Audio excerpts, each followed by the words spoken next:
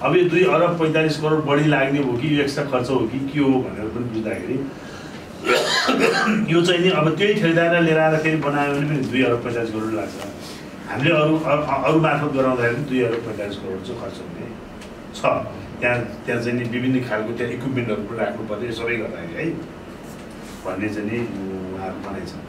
अब सरकारले चाहिँ नि निर्णय नगरेर अब नयाँ दिने कि यही ठेकेदार बोलाउने भन्ने बारेमा चाहिँ नि सरकार आफै अन्यपूर्ण अवस्थामा रहेको अवस्थाले कुनै निर्णय गरेका छैन त्यसले गर्दाखेरि यो प्रोजेक्ट चाहिँ अहिले स्टप भएर बसेको अवस्था छ अब लागतको हिसाबले भन्ने चाहिँ के रहेछ भन्दाखेरि त्यहाँ दुई अरब पैँतालिस करोड टोटल लाग्छ अब कामलाई बाँकी कामलाई। अनि इटालियन ठेकेदार जो भागेर गयो त्योले चाहिँ नि अब दुई अर दुई अरब बाहन्न करोड रुपियाँ मलाई दिनुपर्छ अनि मात्र म फर्केर आउँछु भने हालेछ त्यो फेरि दुई अरब बाहन्न करोड चाहिँ नि कन्स्ट्रक्सन कामको लागि होइन।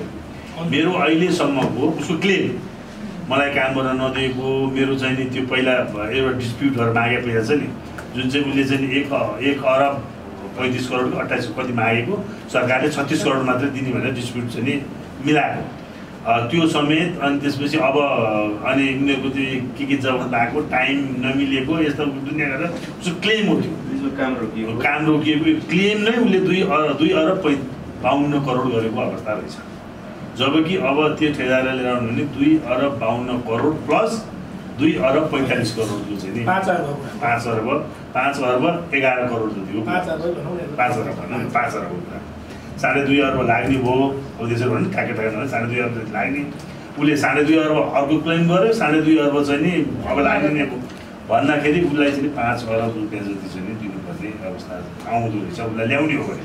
तर सरकार उसैलाई ल्याउन लागि परे जस्तो देखिन्छ। किन भन्दाखेरि नदिएर त त्यो टेन्डर रद्द के अरे उसलाई चाहिँ टर्मिनेट गरिदिइसक्यो उसको सबै जफत गरिदिइसक्यो। सबै गरिसकेको अवस्थामा पनि चाहिँ नि अब अर्को निर्णय गरिसकेको अवस्था छैन। तर सरकारले उसैलाई बोलाएको पनि छैन। कुराकानी मात्रै गरिरहेको छ। उसलाई उसले चाहिँ डिमान्ड त्यो गरिरहेको छ। अब त्यो अब यसमा चाहिँ के रहेछ भन्दाखेरि यो दुई करोड दुई अरब पैँतालिस करोड जुन लाग्छ भने चाहिँ अढाई अरब जति। त्यसमा फेरि यसलाई नल्याउँदाखेरिको फाइदा के रहेछ भन्नु होला भन्दाखेरि दुई अरब दस करोड चाहिँ नि उसको ब्याङ्क ग्यारेन्टी अरू के के गरेको जमानती समानती यति गर्दाखेरि उसको यहाँ भएको पैसा चाहिँ नि दुई अरब दस करोड सरकारले आफ्नो जफत गरिसक्यो दुई अरब दस करोड। र छत्तिस करोड भन्ने जुन त्यसलाई दिनुपर्छ भन्ने त्यो त्यो दिएको छैन। अब त्यसलाई ल्याउने त दिनु पऱ्यो नि त कम्तीमा पनि उसले मागे जति एक अरब पच्चिस करोड नदिए पनि छत्तिस करोड त दिने भने सरकारले त्यो छत्तिस करोड पनि त्यसको प्लस छ। र अहिलेसम्मको उसको काम गरेर उसलाई भुक्तानी दिन बाँकी पनि लगभग बिस करोड जतिको रहेछ।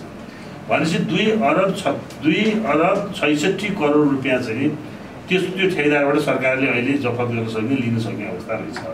इक्विपमेन्टहरू इक्विपमेन्ट सिक्विपमेन्ट सबै गर्दाखेरि चाहिँ त्यो त्यो छुट्टै कुरा हो। यति त क्यासकै कुरा भयो उसको चाहिँ त्यो यसमा चाहिँ दुई अरब दस करोडमा धेरै कुराहरू चाहिँ दिन्छ है। उसको चाहिँ त्यो ब्याङ्क ग्यारेन्टीदेखि लिएर अरू अरू चाहिँ नि उसलाई दिनुपर्ने यताउता गर्दाखेरि भनेपछि दुई अरब छैसठी करोड रुपियाँ त उसँग हामीले लिन सक्नु छ भने दुई अरब पैँतालिस करोड अढाई अरबमा चाहिँ काम हुन्छ भने उसलाई ल्याउनु पर्ने खास गरेको देख्ने। तर समस्या के भयो भन्दाखेरि सरकारले यसको बारेमा निर्णय गरिरहेको छैन। अब इनभिजिबल कुरा गरेर साध्य छैन। पत्रिकामा दुनियाँ ल्याएको छ बाहिर पनि मान्छेले धेरै भनेका छन्।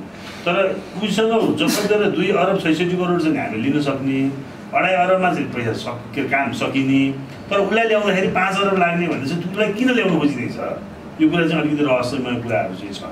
यसको बारेमा चाहिँ म चाहिँ मान्य सभालाई के अनुरोध गर्छु भने हामीले पहिला पनि मन्त्रीजीलाई दुई बोलाउँदा आउनु भएन अहिले पनि यो काम अनियमित भएको छ दुई महिना तिन महिना जति भइसक्यो तिन महिना नागिसक्यो। त्यसले गर्दाखेरि अब चाहिँ नि यदि यसलाई काम गऱ्यो भने एकचोटि उहाँको नै उहाँलाई नै बोलाएर हिजो भर्खर पनि यो प्रोजेक्टको सबै बसेर चाहिँ नि मन्त्रीजीलाई ब्रिफिङ गरिरहेको छ। यो जुन अवस्था मलाई उहाँले भन्नुभयो त्यही अवस्था मन्त्रीजीलाई भन्नुभयो तर उहाँहरूले निर्णय गरिरहेको अवस्था छैन। त्यसले गर्दाखेरि यो चाहिँ नि अब यदि जति छिटो निर्णय गर्यो त्यति छिटो चाहिँ नि सम्पन्न हुने सम्भावना रहन्छ। अब हामीले त अस्ति ब्रेक थ्रु हुने पानी त्यहाँ झर्ने हो।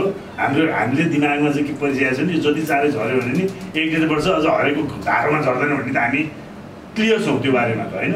बाहिर जति जे आए पनि पानी आउने हो दसैँमा आउने हो तिहारमा आउने भने पनि हामी फिल्डमा गएको मान्छेहरूलाई के थाहा छ भन्दाखेरि पानी त झर्छ। तर झरिसकेपछि धारोमा झर्न चाहिँ टाइम लाग्छ भन्ने कुरा त हामी गर्नु तर अब जति यो झर्ने काम पनि हामी ठुलो गर्छौँ। त्यति चाहिँ नि यो धारोमा झर्ने काम पनि ठुलो हुन्छ। त्यसैले मेरो रेकमेन्डेसन चाहिँ के हो भने यो चाहिँ एकदम छिटो चाहिँ नि एकचोटि बोलाउनु पर्छ भन्ने मलाई लाग्छ। किन निर्णय नगर्नु सरकार अब यो अरूलाई बोलाएर पनि काम भएन। सरकारले यो बारेमा निर्णय गर्नु पऱ्यो कि त्यही ठेकेदार बोलाएर गर्छौँ कि अथवा अरूलाई टेन्डर गरेर गर्छौँ त्यो पहिला निर्णय गरिदिनुपर्छ। त्यो नगरिकन अगाडि बढ्ने अवस्था छैन त्यस कारण त्यो गर्नुपर्छ।